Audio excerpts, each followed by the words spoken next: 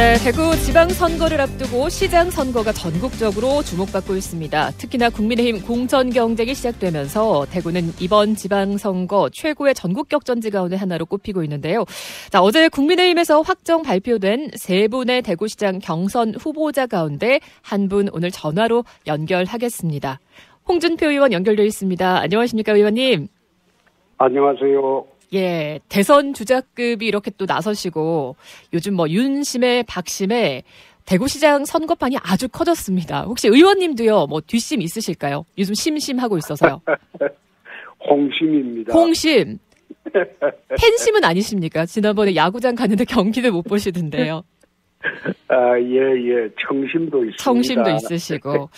자, 예. 시작할 때는 공천 룰 때문에 좀 이렇게 뭐 얼굴 찌푸릴 일도 많으셨는데 웃으시니까 좋습니다, 의원님.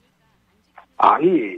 예. 내가 27년간 당에 참 봉사하고 헌신하고 일을 했는데 지난 탄핵 때 당 지지율 4%로 2017년도 그 봄에는 모든 언론들이 우리 당을 해산하라고 했습니다. 네.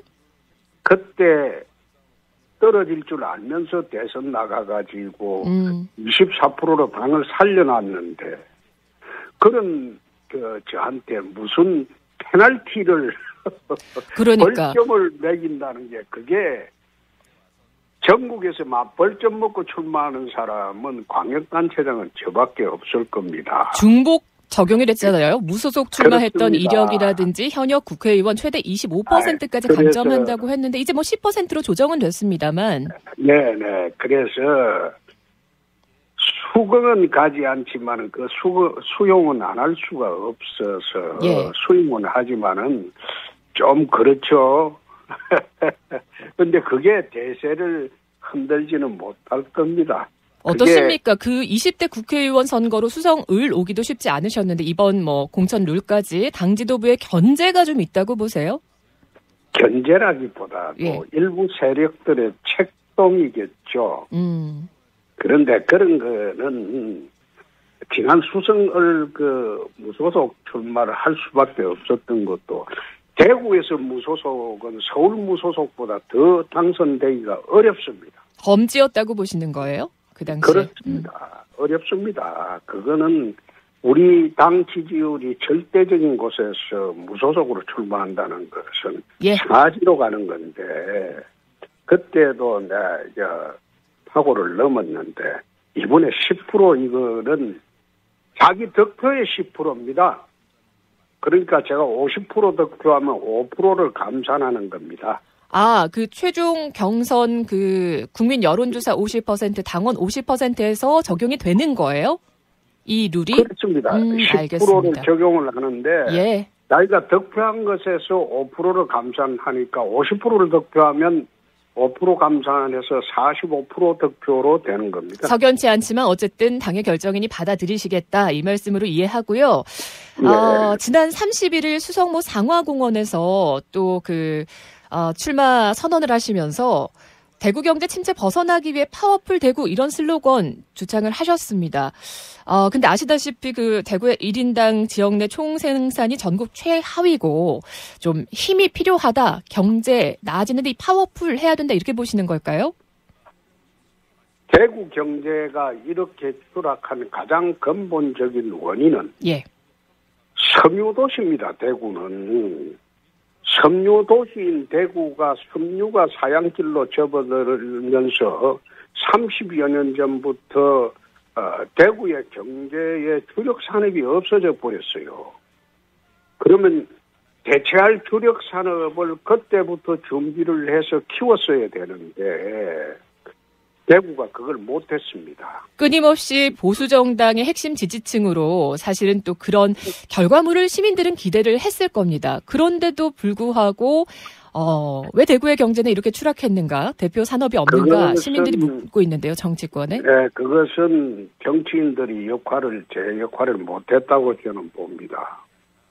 그래서 추락한 대구 경제를 살리려면 산업 구조 개편이 가장 시급합니다. 음. 주력 산업을 새롭게 선정을 하고 그걸 중심으로 대구 경제를 끌고 가야 되는데 지금 의료, 자동차, 물, 에너지, 로봇, ICT 융합 산업이 5 플러스 1 신산업을 지금 추진하고 있지만 현재 예. 뚜렷하게 보이지가 않습니다. 아하.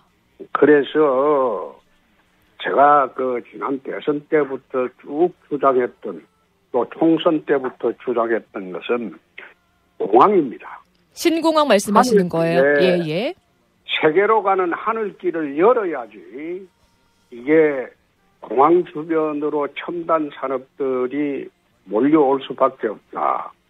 지금 우리나라 실적이 인천공항으로 항공화물로 수출하는 첨단 산업 제품이 98.2%입니다. 예.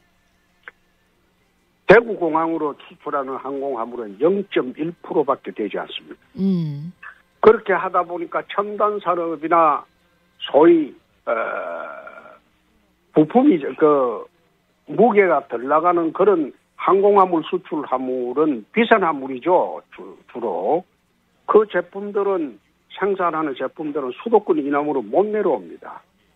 그럼 물류도 해결해야 하고 예예. 예. 네, 예, 대구 공항을 물류 공항 세계로 가는 물류 공항의 허브로 만들지 않으면 대구 경북 그 미래가 없습니다. 뭐 의원님께서도 워낙 관심 갖고 계셨고 또 예타 면제에 준하는 뭐 특별법에 준하는 그런 또어 국가의 전폭적인 지원도 필요하다고 주장은 하셨습니다만 가장 첫 단추가 그 전제 조건이요. 통합신공항 바로 군의군의 대구 편입이었습니다. 근데 지금 이게 안 되고 있어요, 의원님. 그거는 바로 추진이 되도록 하겠습니다. 그거는 안 될 수가 없는 것이 경상북도 지사도 그거는 양해를 한 사안입니다. 근데 그 일부 양해를 한 사안이고 정부에서도 추진하려고 하고 예, 있고 예, 예.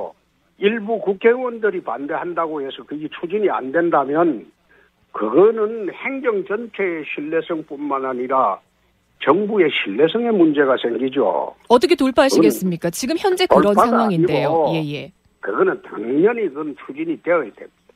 음. 그건 뭐 이론의 여지가 없습니다. 의원님이 되신다면 이렇게 호언 장담을 하시는 걸로 저희가 이해를 하고요. 자, 호언 장담이 아니고 예 자신하시는 걸로 풀 수 있다. 경북지사하고 합의한 사항이고 예.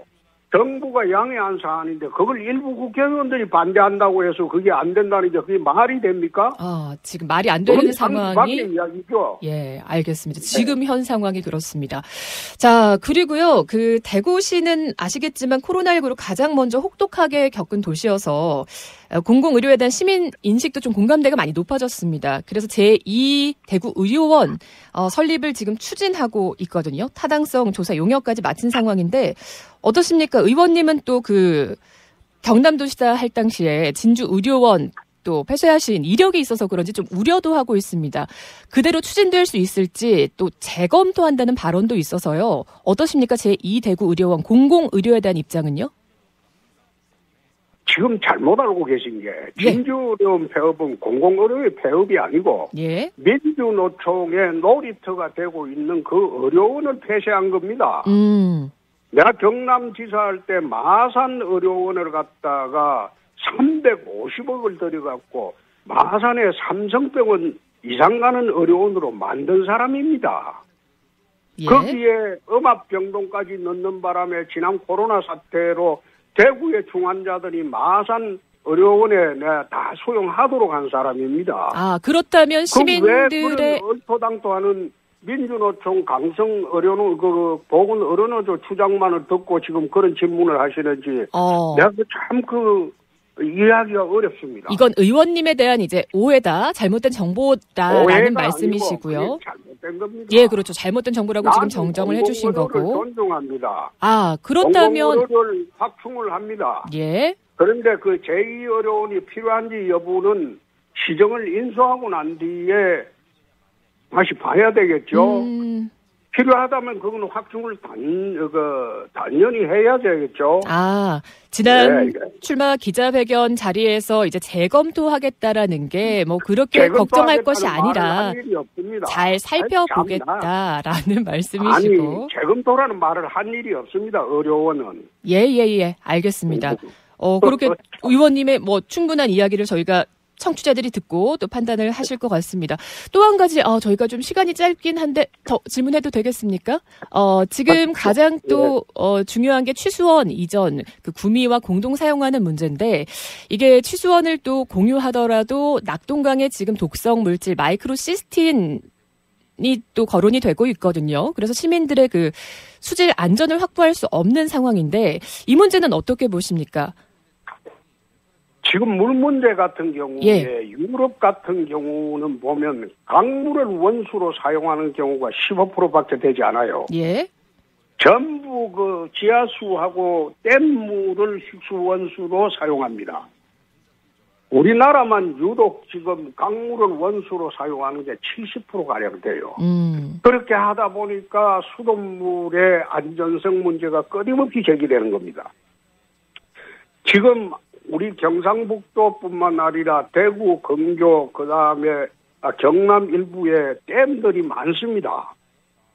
그 댐들을 전부 도수관로로 연결해서 식수 하이웨이라고 그런 식으로 물을 사용하게 되면 강물을 원수로 쓰는 그런 사례는 아, 적어질 겁니다. 음. 그래서 지금 제가 생각하는 것은 예.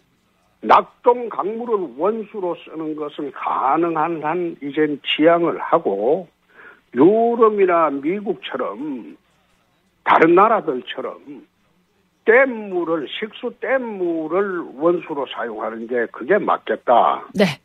그래서 안동댐, 거부의 이마댐 전부 댐을 도수관로로 연결해서 그것을 원수로 사용하는 방안을 한번 강구해 보자. 그렇게 지금 추진을 하려고 합니다. 예, 대구시의 또 현안 문제들에 대해서 저희가 충분치는 않지만 또 의원님의 어, 생각을 의견을 들어봤습니다. 자 마지막 질문 될 것 같은데요. 이제 4월 30일 기점으로 또 수성 의뢰 운명이 갈릴 수 있습니다. 의원님 그 공직선거법상에는 그 5월 2일까지 선거일 30일 전까지만 의원직 사퇴하면 되지만 그렇게 되면 이제 수성글 보궐선거를 지방선거와 함께 치를 수 없어서요. 만약에 시장 후보로 확정되시면 4월 30일 안에 사퇴하십니까? 그렇습니다.